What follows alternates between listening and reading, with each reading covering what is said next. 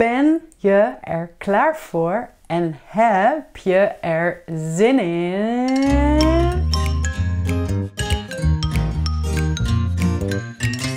Goeiedag allemaal. Welkom bij les 8 van de beginnerscursus. Deze video gaat over de twee belangrijkste werkwoorden in het Nederlands. It's about the two most important verbs in Dutch. En dit zijn zijn en hebben. Het werkwoord zijn kun je vergelijken met het Engelse werkwoord to be. You can compare zijn to the English to be, maar niet altijd. Not always. I will show you later in which cases we don't use zijn, whereas in English you would use to be. So, really important to pay attention. It's not just the conjugation of the verb zijn or the verb hebben today. No, no, no.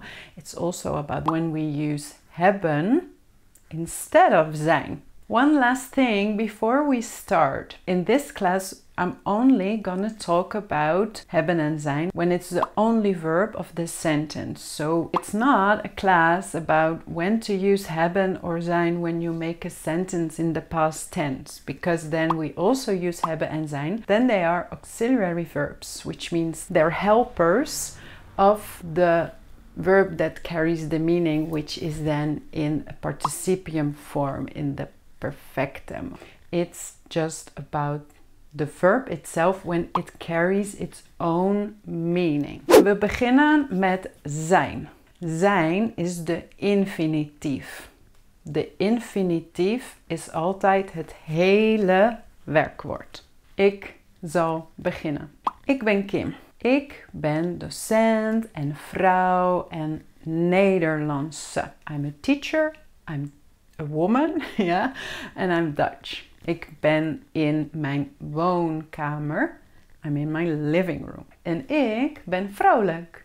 I'm cheerful. Ja! Dan jij of je en u bent.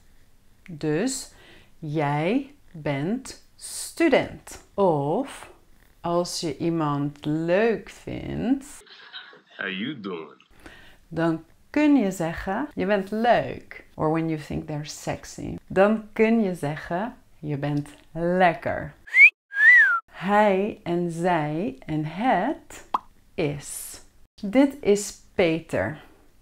Hij is IT'er. He's working in IT, but you can talk about his occupation as hij is IT'er. En hij is op zijn werk. Dit is Anna. Zij is jarig. She's having her birthday. We say zij is jarig. Zij is 34 jaar. She's 34 years old. Dit is een paard. Ja, en het is bruin. Oké, dus ik ben, jij, je, u bent. Hij, zij, het is. Maar één heel belangrijk ding. One very important issue. And that's for all the verbs in the present tense in Dutch. Only for the personal pronouns je en jij. If you swap it with the verb. So if you don't say je bent student, but for instance, if you make it a question, then it loses its T and you get ben je student. So always when je or jij is placed after the verb for whatever reason, it loses the T. Every, every, every verb. But not for u. Only for je en jij. En dan het meervoud. De plurals. Voor het meervoud gebruiken wij in het Nederlands altijd de infinitief. Dus het hele werkwoord. Dus alles is zijn. Bijvoorbeeld, wij, ik, jullie, wij samen zijn mensen. En wij zijn gelijk. We are people and we're equal. or equals. Jullie allemaal zijn mijn publiek. You're my audience. En jullie zijn fantastisch. Yes, you're great, you're fantastic. En dit zijn Phoebe en Rachel uit Friends. En zij zijn blij. They're happy. Dan gaan we nu naar hebben. En hebben kun je vergelijken met to have. And I'm going to teach you now a couple of very, very, very important sentences that in English you use to be. But in Dutch we don't use zijn, we use hebben. We beginnen weer met ik. Ik heb een YouTube kanaal. Maar nu een andere zin waar je in het Engels to be gebruikt en niet to have. Bijvoorbeeld, ik heb altijd honger. I'm so hungry. I'm always hungry is ik heb altijd honger. And then if you want to say like what you really want to eat, for instance, kun je zeggen ik heb zin in chocola.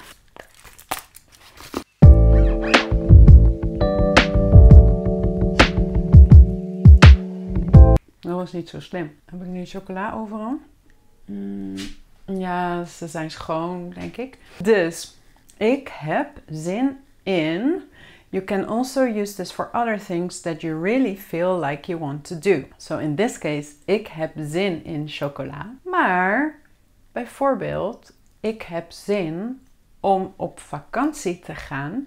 I feel like going on a vacation. Dus ik heb zin in is een heel belangrijke zin. And then zin, the last zin means sentence. Ja, oké, complicated, sorry. Dan naar je, jij en u. Bijvoorbeeld, je hebt een leuke vrouw.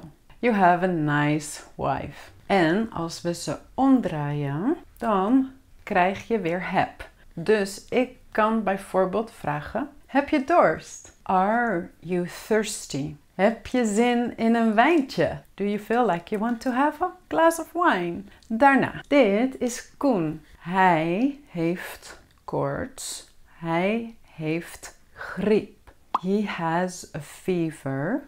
He has the flu. Dit is Sophie. Zij heeft veel werk. Zij heeft het druk. She has a lot of work. She is very busy is zij heeft het druk. En weer het paard. Het heeft vier poten. Ik heb, jij, je, u hebt. Hij, zij, het heeft. Nu weer naar het meervoud. We beginnen met wij.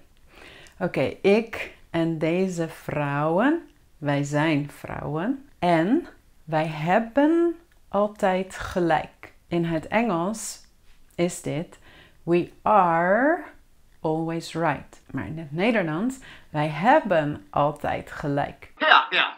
And before, when we did zijn, I used the sentence wij zijn gelijk. So, but wij zijn gelijk means we're all equal. En wij hebben gelijk, we are right. Jullie hebben een fantastische docent. Jullie hebben geluk. You have a great, fantastic teacher. You are lucky. Jullie hebben geluk. Again, very important. En deze mensen, zij hebben een feestje. They are enjoying themselves. Zij hebben het naar hun zin. Dit was de les over hebben en zijn.